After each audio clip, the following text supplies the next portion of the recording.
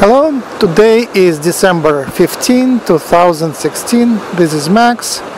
We are at humancolony.org. You can write to me in comments to this video or you can um, email me at max at humancolony.org. Today I will talk again about how to stay afloat, how to be, how to go through depression and how to come back. When I was uh, in school, like middle school, I uh, was in pretty bad situation. My um, stepfather was sort of aggressive and demanding, and my mother was escaping and not much there. I had a yeah a fairly dysfunctional family in school I was an outcast. I was kind of a little bit on the fat side and um, yeah I was fat. I wore, glasses. I was unpopular. And um, people would be aggressive and I would not know what to do. So basically socially I was underdeveloped. So I um, read a lot of science fiction. That was my world. I just I didn't realize I was from there. I don't think I realized, but I actually lived in this world of science fiction. I just swallowed books one after another, and I was very lucky. My that very aggressive, that very aggressive st stepfather uh, was crazy about books and had ways to to get a lot of books. So the whole little apartment was filled with science fiction books, which was wonderful, very good quality. So at some point, my um, my parents just made a decision that I I'm too withdrawn from uh, from the world that they prohibited me from reading the books, and I was stupid enough to follow the advice. So basically, I stopped reading books, and um, at the same moment, uh, my uh, friends decided that they don't like this school, they want to go to another better school. And they would take a subway and get accepted to a mathematically oriented school. So I followed them. I think I followed them a year later, so their advice wasn't didn't affect me immediately, but I just followed them later because they mentioned that it is a great school. And I was accepted and this was just a paradise.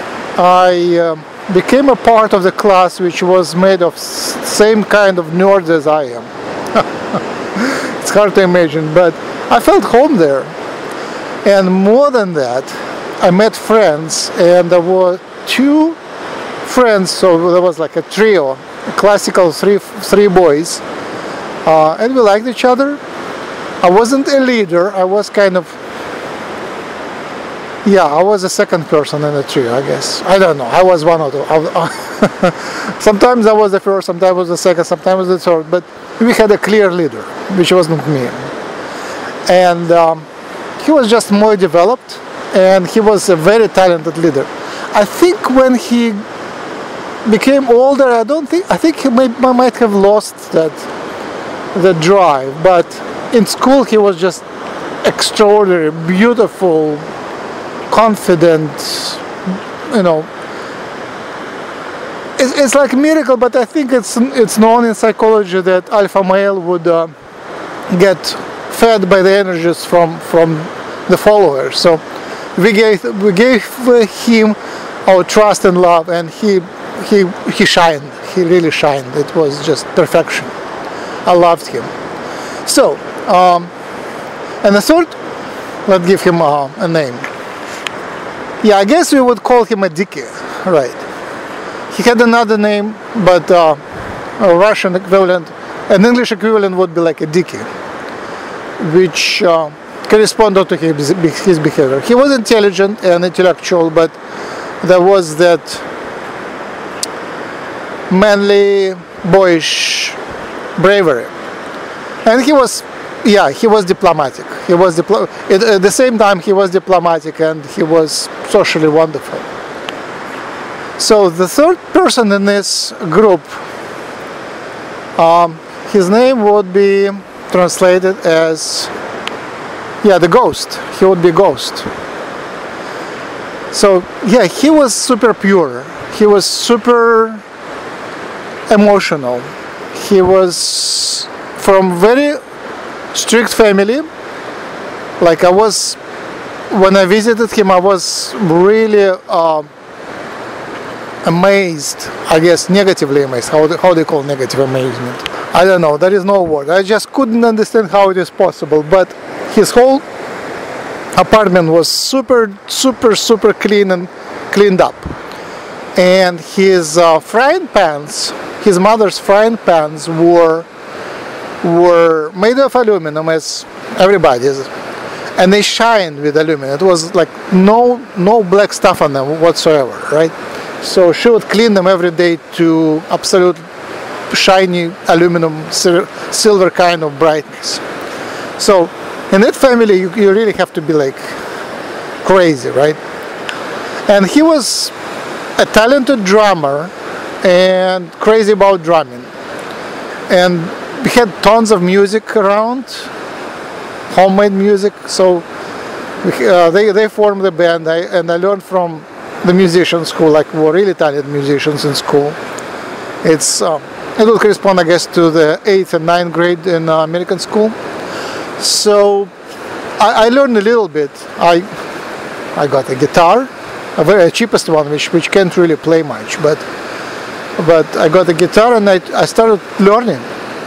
And there was a, there was a lot of good stuff we, we did. We were nice boys, intellectuals from good families. All the stuff we did was good, but uh, you know our our mm, class our, our class teacher was amazing, and he took our class to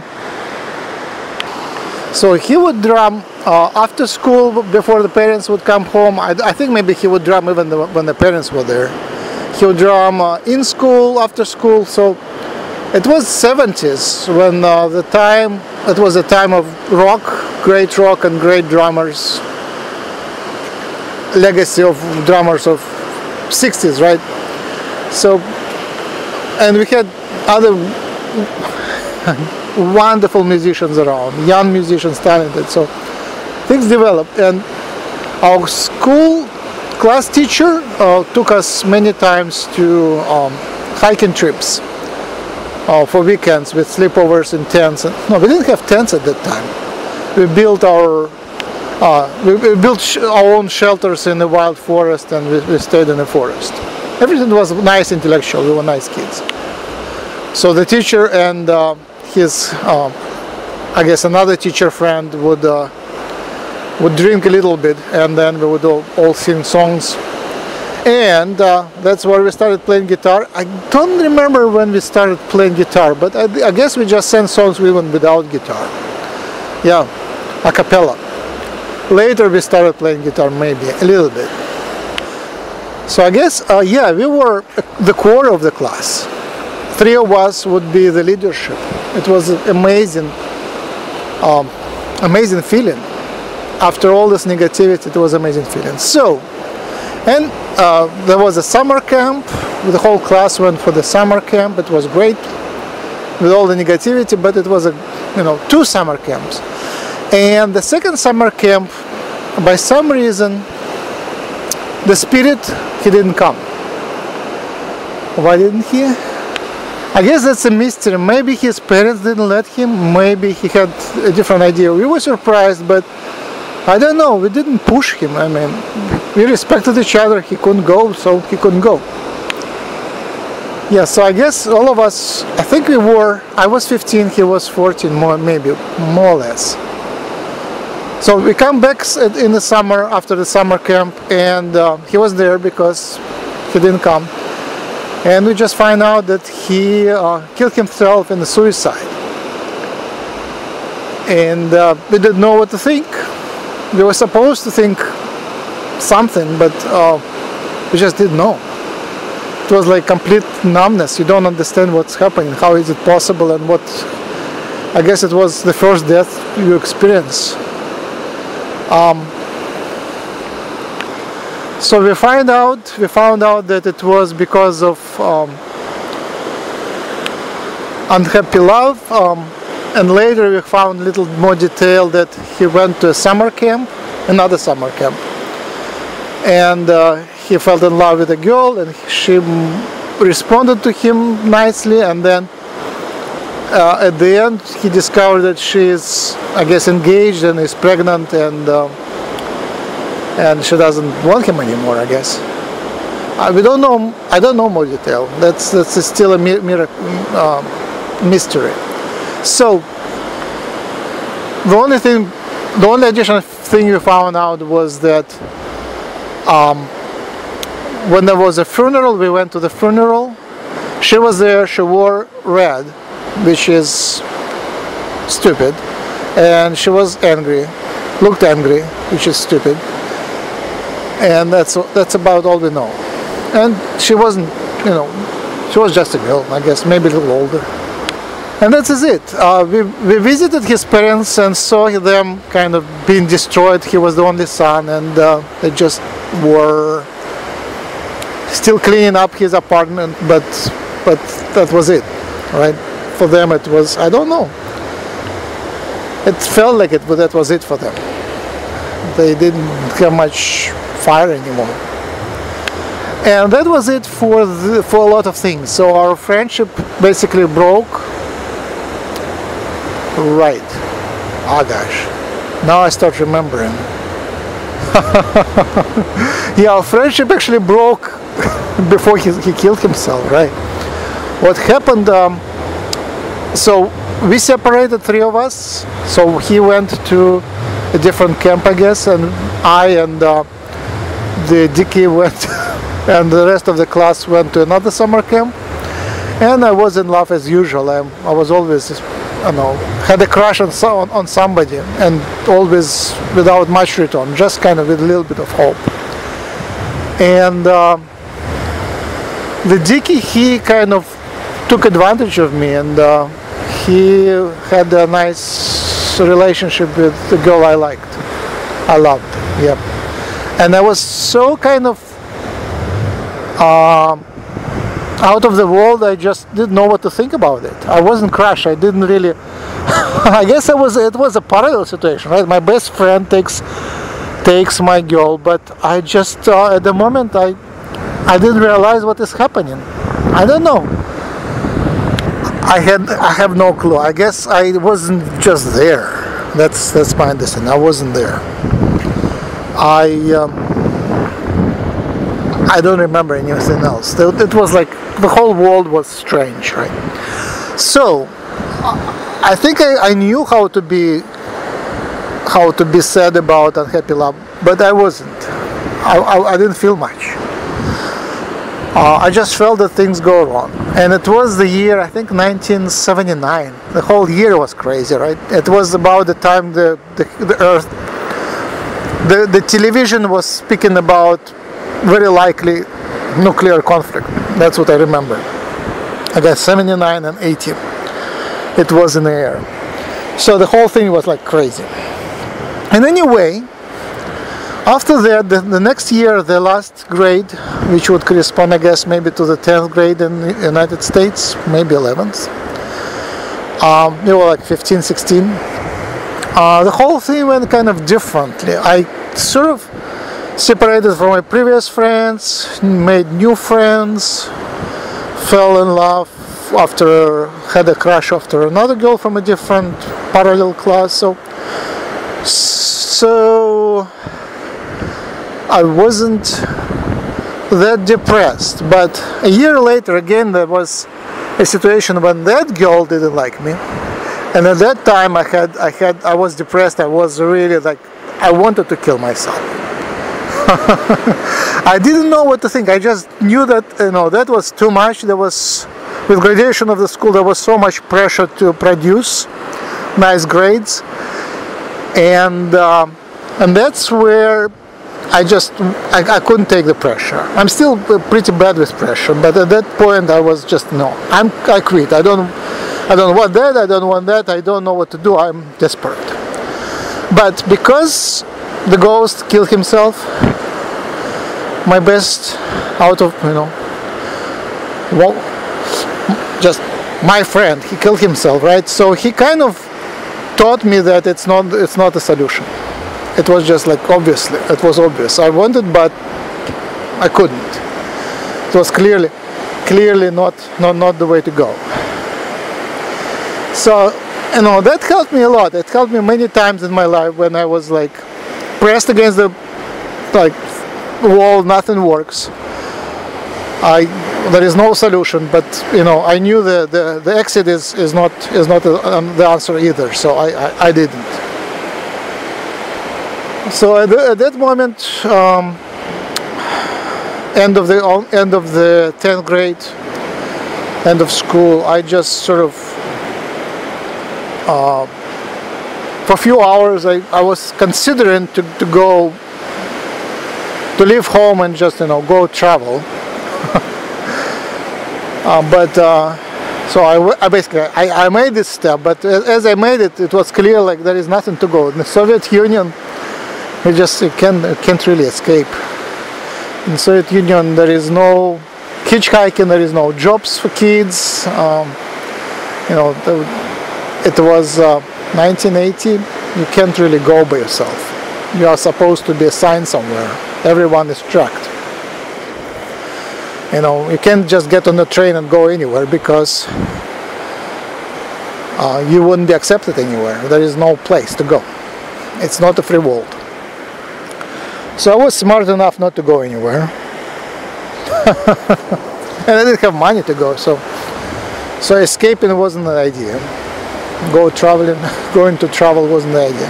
And obviously I, uh, I sort of kind of cared about my parents. And for my uh, mother and my teacher, it was a big, a big stress. A kid disappears, and then they knew there was something wrong. So, and one one killed himself a year ago. So, so for them it was big. I didn't think about it because I was focused on my, you know, crushed hopes. But um, but I came back. My mom called the teacher, and after that, he basically he didn't speak to me ever. He basically was really offended, and he took a person that was his one of favorite students, and I um, I was I didn't think about them, about him you know, the time. And when I came, once I kind of came to the uh, class reunion and he just, he just ignored me. Okay, uh, I guess my mom forgave me, you know. I don't know what, she, what, what did she think, but uh, I guess she cried maybe, I don't know. I don't remember. I was so self-centered and not social much. Yeah, something of that sort. So I will jump to another story which uh, uh, which happened I guess seven years later. It was not seven. It was an I was pretty sure 1984. Um, part of the story you already heard, but maybe. But basically, the idea is, was that I was in the Moscow University Chemical Department and um, we had uh, a permission not to go to the army. there is some word which I don't know, exception or something. So we were legally permitted not to go to the army, but for two years, but we had to go to the army for two months and we would be trained as uh, junior officers and it was still pretty bad. So I would uh, I ended up in the hospital with dysentery because the conditions were like dirty and hot and um, I it just pretty bad for me and morally we were repressed in many ways. Um, so I ended up in the hospital very sick, very sick, like for quite a while, maybe more than two weeks. And there there were kids who would uh, also get get there with uh, with certain dysentery diseases like infectious diseases mostly dysentery. And uh, they would recover fast. And they were the kids from uh, from the two-year army basically. I guess it's called conscri conscription. So if you're a certain age and you didn't get um, to the university or you didn't get certain medical uh, um, I guess it's called, would be called exception. Then uh, then you're screwed. You have to be in the army. So they will like you to get dysentery then they would spend free time in the hospital which was kind of you didn't have to work. You didn't have to do much. You just sit you know there and uh, do nothing and um, the the guards on the hospital it wasn't guarded as much. So there was a opportunity an opportunity to escape. So two kids escaped from the hospital and from the army. It was 1984 um, and that was sort of an interesting step you become an outlaw basically. Um,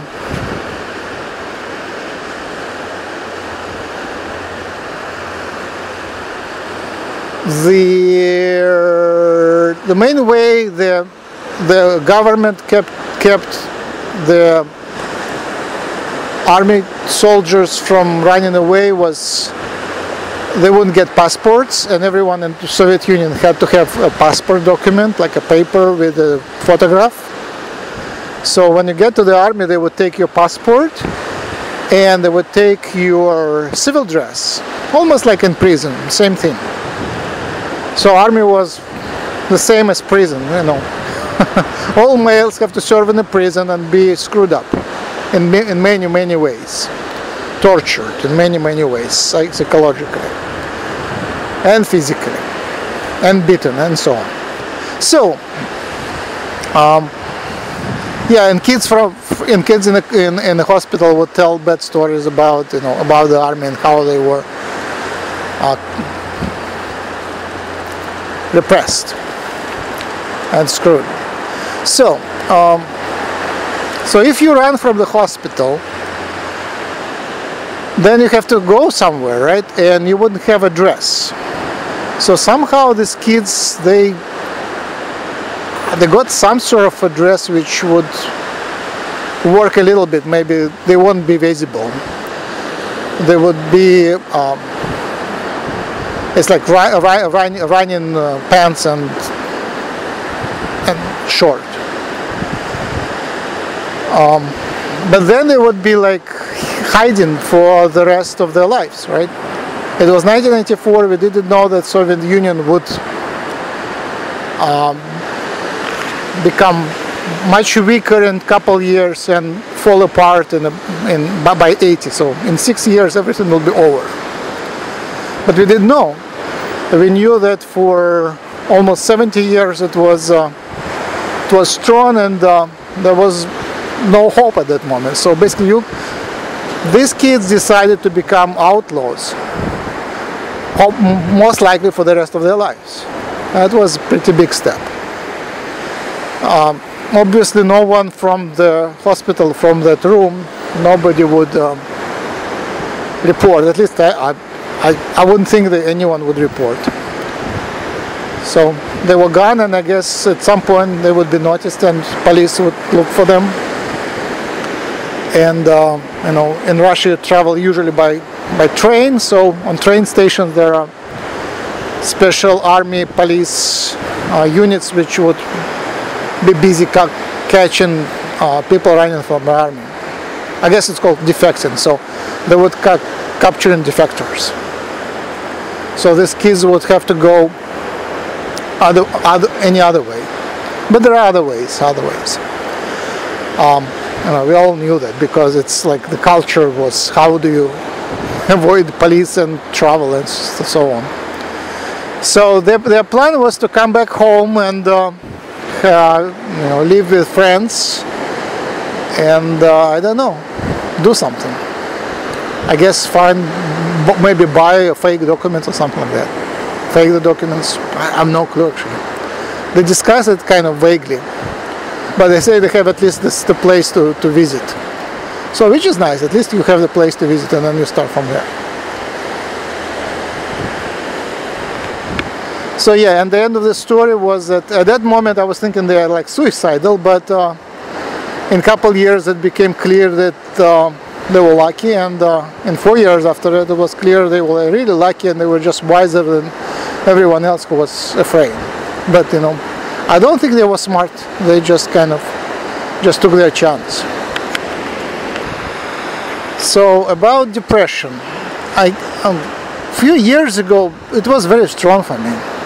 I don't know it goes by waves but again it also really depends on your perception like how do you judge your own situation? So some same situation if people look at you and think uh, think that you're a loser and you believe them then you are sorry that you're a loser. But sometimes just one person saying that they are uh, believe you are great and um, they uh, estimate you very highly is sufficient to, to change the, the, whole situation completely to the uh, uh, to the otherwise and you would believe you're you're great right so having that one person who would lift you up is absolutely essential and uh, and if you cannot cannot judge yourself positively how do you call cannot estimate yourself positive cannot decide that you deserve cannot decide that your situation is great, then then finding someone, finding I call it a muse. A muse is more like inspiring, but someone inspirational. One person is sufficient. More, of course, is better, but someone who can uh, lift you up is the key. And in my previous video, I I told about my best friends, where we would go, and um, who would keep us up you know, when we were confused, we would go to our friends who were experienced, and they would uh, would uh, just talk to us and tell stories. And sometimes they would tell stories which you wouldn't know why they're telling them, but later you would realize that was to lift you up. They wouldn't go directly, but they would tell it indirectly. So classifying people some people have this some people have the talent to uh, to put you down and some people have the, have a talent to to lift you up. I, I call this muse a muse. Right and uh, I, I value them very much. Those who who can inspire you. They might have no other talents. They might not even understand you but by some spiritual mechanics they have the capacity to to inspire you. Right. So recently I have been depressed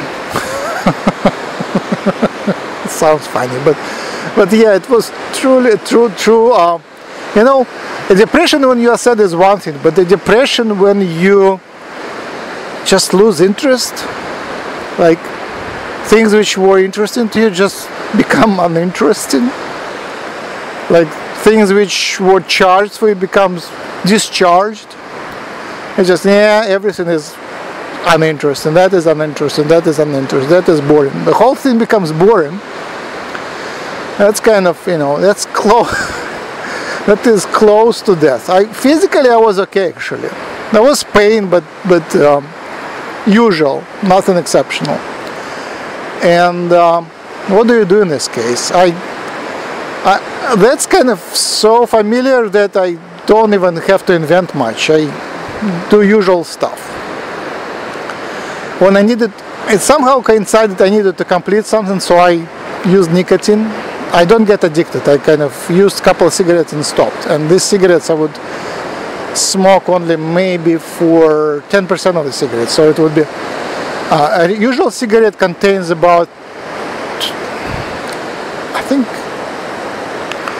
I think 30 milligrams of nicotine, so 10% of that would be like 3 milligrams of nicotine, which for my psychology for my biochemistry would be a medium heat. It would hit you, but then it would last for maybe three hours and then go back.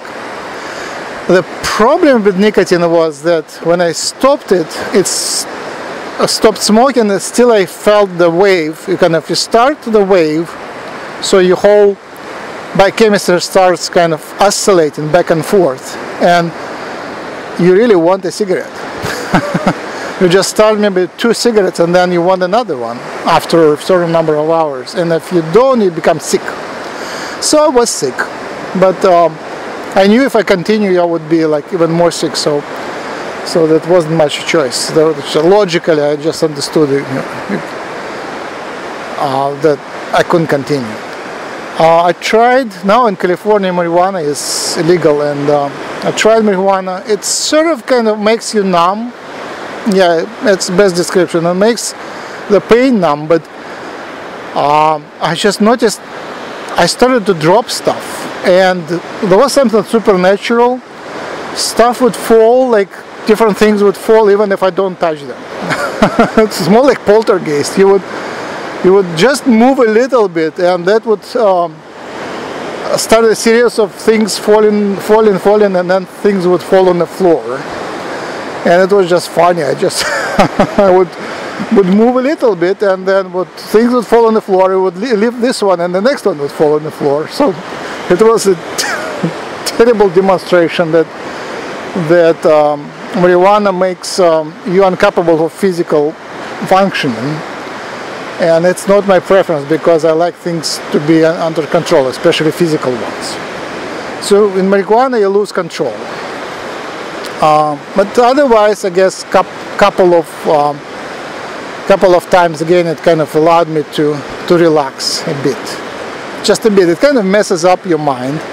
You cannot get really high because to get high you need to be harmonious and I find that marijuana makes you sort of mel molten like melts you. Um, it, it breaks apart the, the connections but you are not you can't assemble yourself. You kind of you just melt, become liquid or ga gaseous. So it's not. You can get very high spiritually. I guess the, the, the word high on marijuana is something different. You, like you are not physical, but you're not spiritual either. You're kind of in between. So to get like coordinate, like for good uh, spiritual upliftment, you need a certain vibration in your body and in your brain to be at high amplitude. So for that, for that your nerves have to be functioning and produce a certain resonance. So clearly marijuana breaks all that resonance.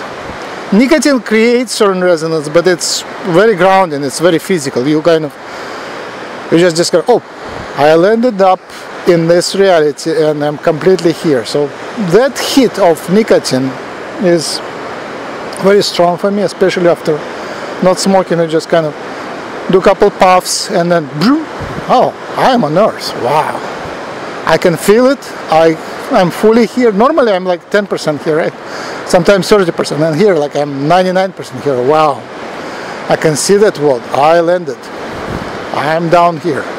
And it feels okay. All right. So so that's that's nicotine marijuana and alcohol um, okay again amounts were like really tiny for everyone it would be like laughable people would, would like normally drink it after after lunch right during during the workday but um, what did I drink? Hold on. It's called vermouth.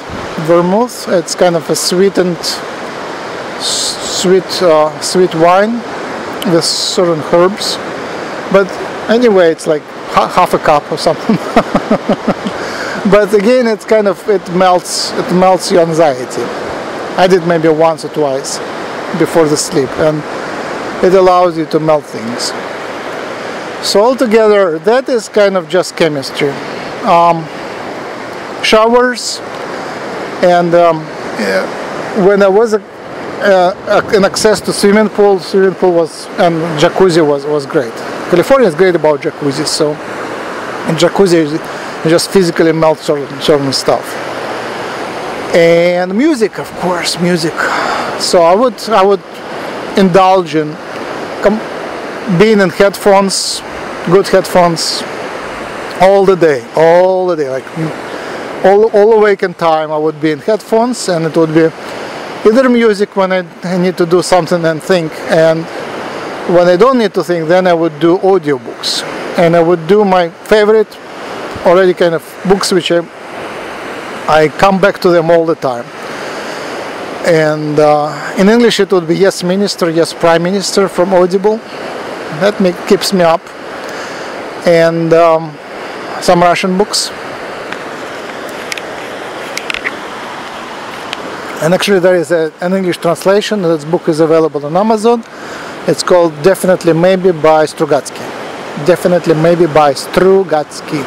T-S-K-Y and of course there is Jim and Jim does miracles. So I have sessions with Jim's one with Jim once a week and um, usually it's it's sufficient just to wait until the meeting with Jim and um, and then ask the Girk or archangels to, to help and they do come and help. Uh, and also I have a Reiki a couple times a week and again sometimes it just uh, it's just waiting you wait until you come to your healer and they would put, put you back together that's that simple so and of course the family and uh, and friends family and friends is absolutely essential so finally, it is just waiting. Uh, you know, you get used to that. You know, it's it's a, a, phase, and it is kind of a phase of spiritual development. Sometimes it is your personal, and very often it is kind of universal. You look around and see the signs that it's for everybody around. It is not you only going through the phase, but the whole group of friends, like kindred spirits they go through the same collapse.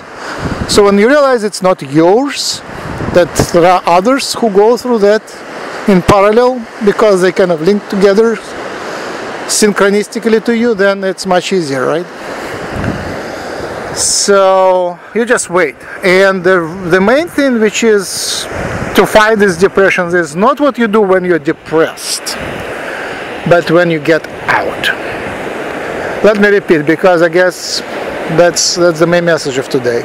So to fight depression, it doesn't really matter what you do when you're depressed.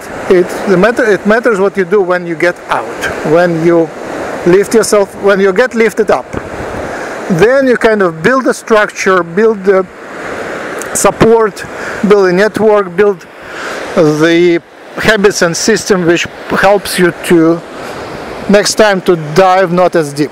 Depression is unavoidable, especially for spiritually awakened people.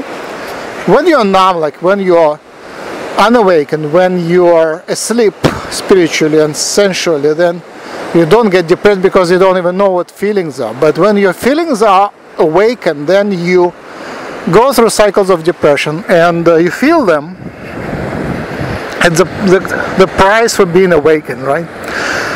But um, as you prepare yourself, there is a wind. I'm not on the ocean. There is a wind. I'm sorry. I can't. I can't really protect you from that wind. I guess I need to buy that thingy that protects you from the wind. Not you, the microphone. And anyway, the the system of support which is primarily the network, the family, friends, network of friends. Again, uh, periodic weekly Jim, weekly Reiki healers, and so on.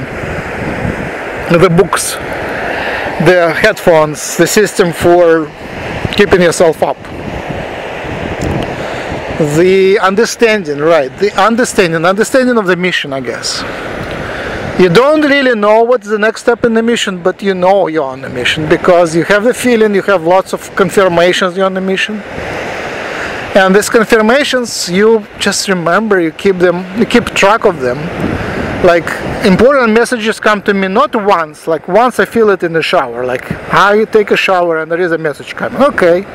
I take a notice of the message. And then if it comes the same day day through like another few different sources then you realize it's confirmed.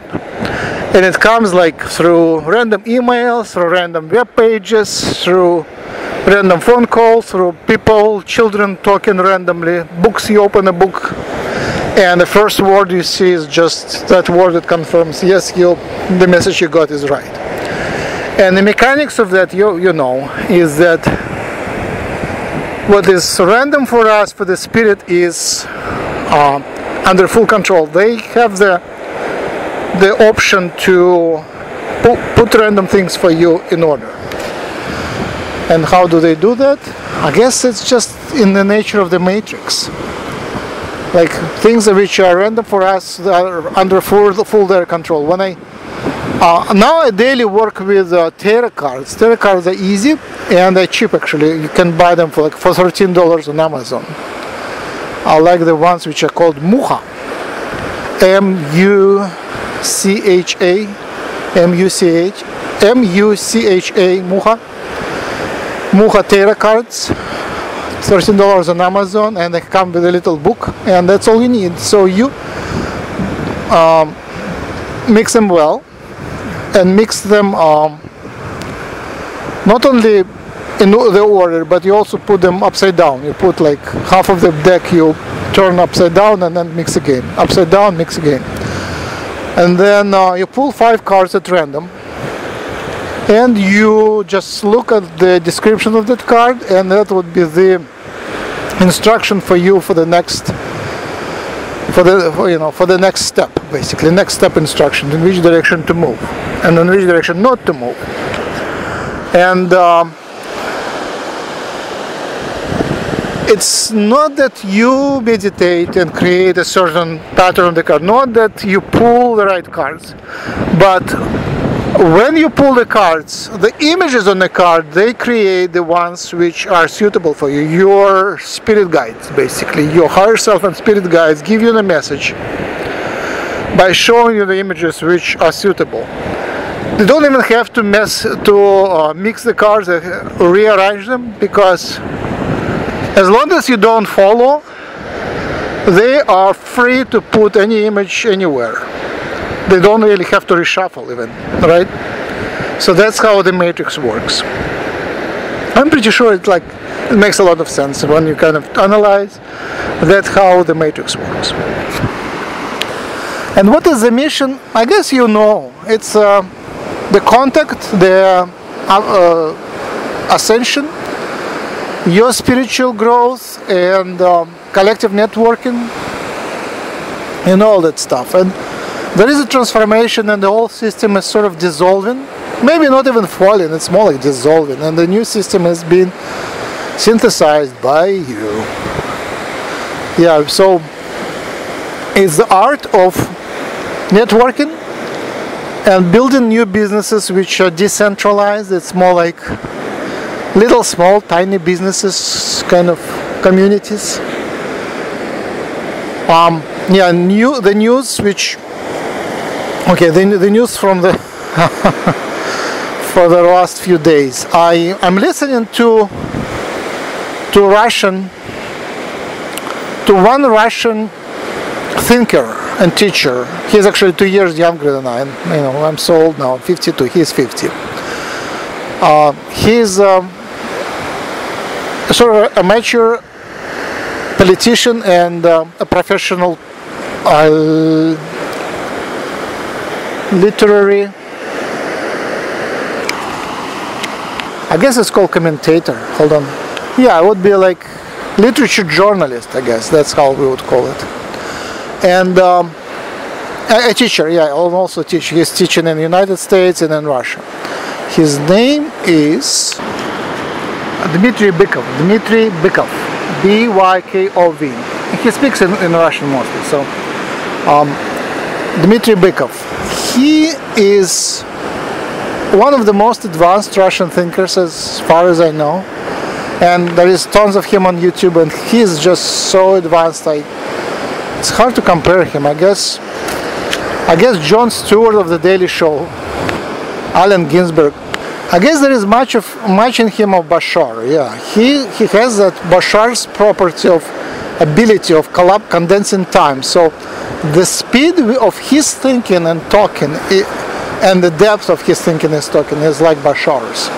It's just so superhuman. That, that's all I can say.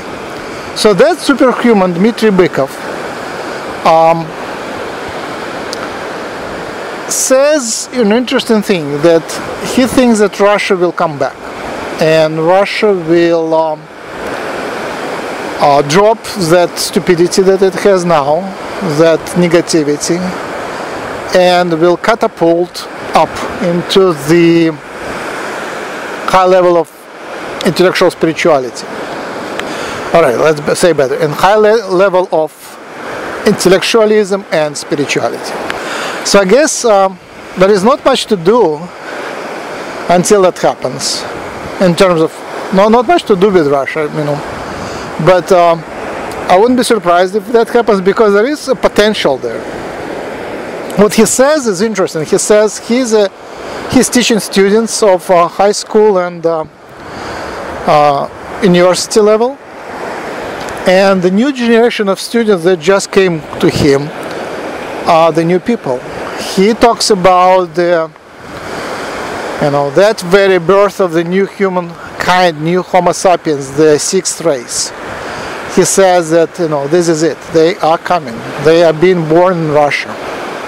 In america too but he says in russia there is something extraordinary. So new kids which didn't experience soviet union they were born a few years after the fall of the soviet union. Uh, they uh, they are just new new new geniuses of new kind I guess when they grow up that that might happen that the earth will shift. So the hope is in the generation which is already born which are the kids now. So that's what will uh, save the world. I guess it's a wonderful point to to finish the talk about depression. There is a hope. The new kids are coming. And uh, they will make it happen. So until then, we are the ones who hold the vibration. And when they come, we would be the ones who would transfer the you know if they want to take they will we would transfer something. We'll, we'll transfer the vibration to them and then we can go I guess. Maybe that that transfer would be appreciated but he's afraid and it's, it's a good fear that uh, they'll just wipe us out altogether. They would just come and start in the new earth and start a new vibration and it will be so high we'll have nothing to do with it right? Can you imagine that? I, I can easily imagine like they would be like aliens maybe. They'll be so bright, so nice, so beautiful, so um, unaccessible, unreachable. It's like, uh, yeah, sometimes I see American students and I'm so much out of that world. They don't see me, I don't see them because it's like there is a barrier of vibrational barrier. I, you know, I cannot bring them to me. They cannot bring me to them. It's just too far.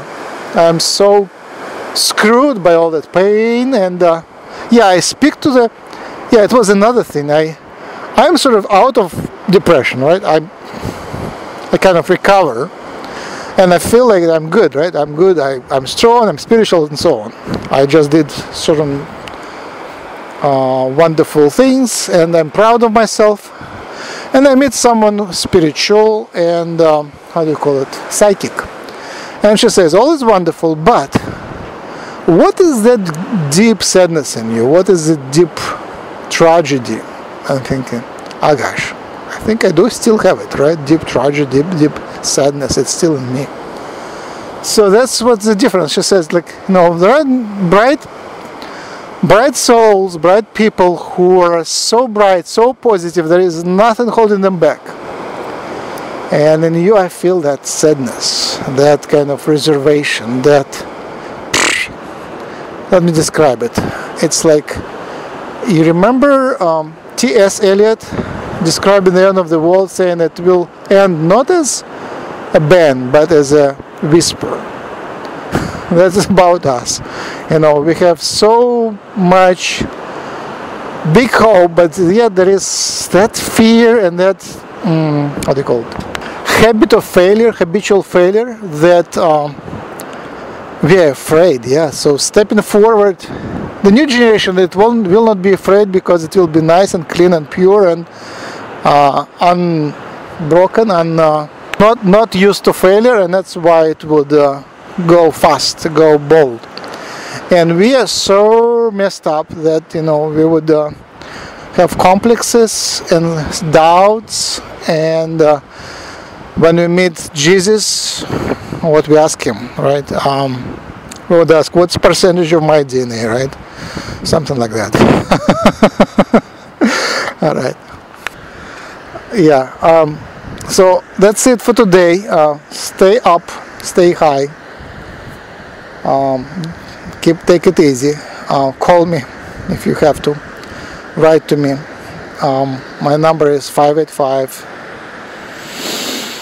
705 1400 and Skype max 2040507 max 2040507 and email max at humancolony.org and invite help uh, making videos like doing video editing uh, helping with webinars pressing buttons and moderating.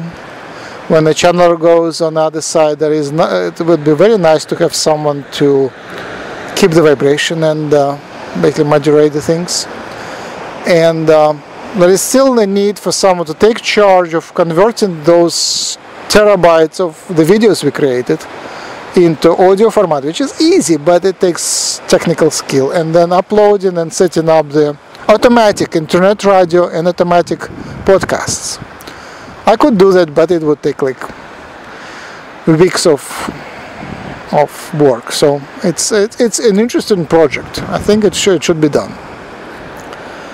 Uh, and just uh, if you want to join our webinars, write to me and I will add you to our chat chat boxes where people meet and discuss uh, discuss things. Also when people finally get in these chat boxes they say and what's next? And next you connect one to one you uh, pick the people in the webinar who you like. You listen to our um, webinars on Hucolo YouTube pick the ones you like and when you get to chat boxes in Skype and Google Plus you connect to these people and just say hi every morning. And how are you? And the ones which need help we give them help. All right. Have a good day. Um, talk to you later. Goodbye